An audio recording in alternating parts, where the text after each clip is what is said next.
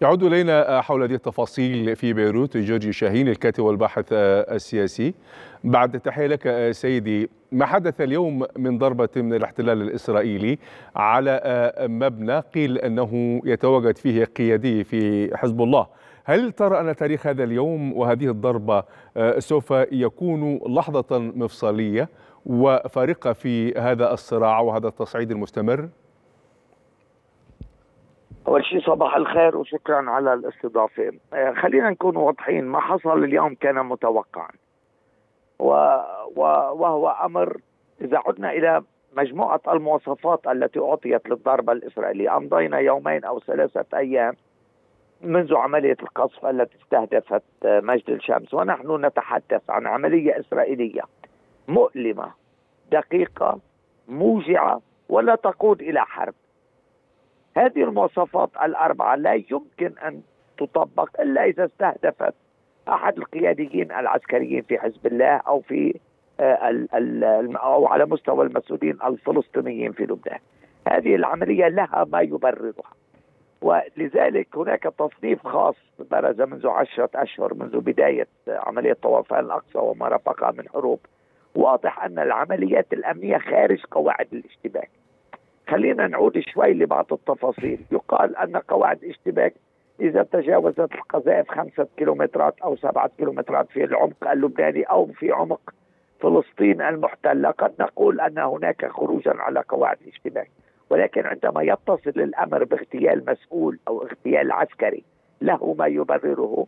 رأينا العمليات العسكرية تجري في شمال لبنان في عكار في البقاع الشمالي في البقاع الغربي. داخل الأراضي السورية في منطقة القصير على بعد 170 كيلومتر من الحدود اللبنان اللبنانية مع فلسطين المحتلة. نعم. لذلك سقطت كل المحاذير المحاذير بشأن العملية عندما تستهدف قياديا. خلينا نتذكر اغتيال نائب رئيس حركة حماس أو نائب رئيس المكتب السياسي الشيخ صالح العروري في قلب الضاحية الجنوبية.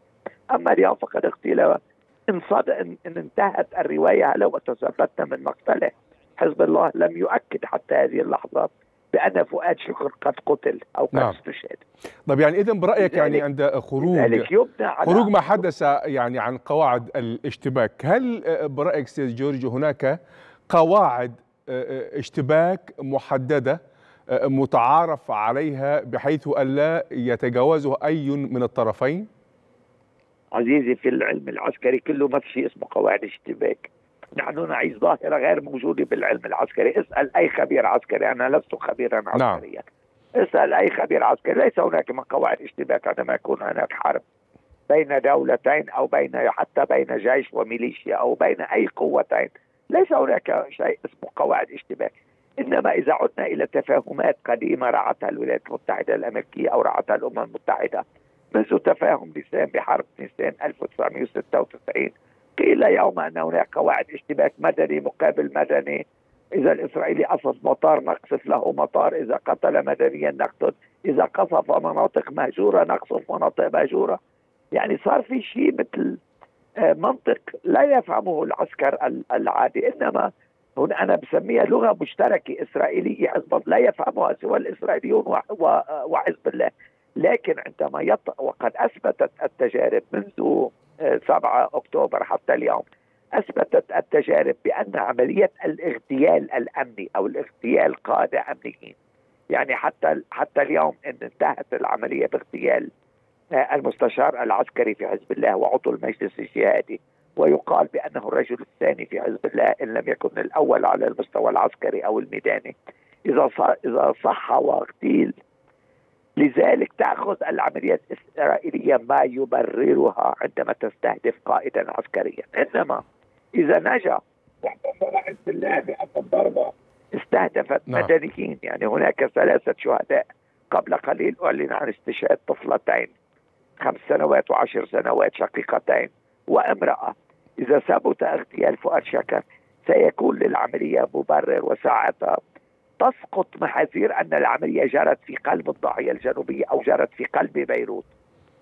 بالتأكيد عزيزي نحن واثقون نحن كصحفيون ومتابعون نحن لا ليس لدينا بأن هناك أي ضمانة أمريكية أو أوروبية أو صحيح. أي طرف دولي قال للبنان أن بيروت محصنة أو الضاحية الجنوبية محصنة أو أي منطقة في لبنان محصنة لكن قيل بحسب المعادلة أو ما كمان ما يسمى بقواعد الاشتباك إذا قصف مطار سيقصف حزب الله مطار. إذا قصف آه، مدينة سيقصف حزب الله مدينة. لكن عندما يتعلق الأمر باغتيال مسؤول عسكري فهو شهيد منذ لحظة انتسابه أو منذ لحظة قيامه بهذه العملية العسكريه فهو شهيد آه، مثل ما نقوله على الليستة يعني على نعم. لائحة الشهداء.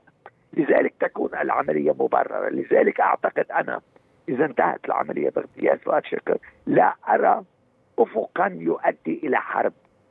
لنعود وعندها يمكن أن تصدق طيب. المعادلة التي قيلت أنها عملية موجعة. ضلت أعلى مسؤول بحزب الله. طب ماذا ترى في موقف ماذا ترى في موقف الولايات المتحدة الأمريكية مما حدث؟ لأن وزير الدفاع الأمريكي أوستن مثلا آه، سيجور يتحدث على أن الولايات المتحدة الأمريكية سوف تكون إلى جانب إسرائيل أو في حماية أمن إسرائيل كما هو معروف طبعا ولكن الولايات المتحدة الأمريكية أو البيت الأبيض يتحدث على أنه لا يريد المزيد من التصعيد أو أنه لا يرى أن هناك حتمية في استمرار الحرب ما بين الاحتلال الإسرائيلي وحزب الله فكيف يعني ترى هذا التناقض في هذا الكلام؟ ليس هناك من تناقض عزيزي. أنا أرغب بقراءته بشكل إيجابي. عندما تحدثت الولايات المتحدة من يومين عن هذه المعادلة التي أشرت إليها أنا في البداية هناك يومين أو ثلاثة أيام من المفاوضات قام بها أوكشتاين الموفد الرئاسي إلى لبنان وزير الدفاع وزير الخارجية الاتصالات التي جرت مع المسؤولين اللبنانيين أو يقال أن أنه لا بد من رد لكنه سيكون محدود. ودقيق ولن يؤدي إلى حرب شاملة. إذا انطبقت هذه المواصفات على عملية الضاحية الجنوبية أنا أؤكد لك بأنها لن تقود إلى حرب. لذلك أنا اليوم طرحت بمقالتي بجريدة الجمهورية سؤال أن هناك اليوم مسابقة دولية كيف يمكن أن تختار عملية مؤلمة وموجعة ودقيقة ويعني بهذه الخطورة ولا تؤدي إلى حرب؟ سؤال محير يعني معادلة محيرة. نعم. لذلك لذلك أنا حتى هذه اللحظة ما زلت على قناعة بأن العالم وإن دعم إسرائيل نتيجة آه، رفضها لما جرى في مجد الشمس علما أن شهداء مجد الشمس ليسوا إسرائيليين إنما هم سوريون وعرب ولا علاقة لهم بإسرائيل ورفضوا الهوية الإسرائيلية. أرغب يعني أرغب بأن أعطي توصيف. هناك غضب إسرائيلي اصطناعي. غضب اصطناعي نتيجة عملية آه، آه، مجد الشمس نعم. لست مقتنعا بأن إسرائيل تريد السائر لأبناء مجد الشمس وخصوصا إن أنها ترفض التحقيق الذي طالب به لبنان والاتحاد الأوروبي. لبنان نعم. طلب من القوات الأندوم مراقبي الأمم المتحدة التحقيق في مصدر هذا الصاروخ الذي أصاب مجد الشمس هل يعقل أن يكون صاروخ من نوع فلك ولم يحدث حفرة في ذلك الملعب. يمكن أن نضع فيها طابة البينبون يعني هناك لغز. هناك آه، غموض جدا في هذه العملية. إذا سوف نرى التداعيات في ما حدث في هذا التصعيد لكن أشكرك إلى الآن حول هذه التفاصيل. كنت معنا فيها مباشرة من بيروت جورج شاهين الكاتب والباحث السياسي.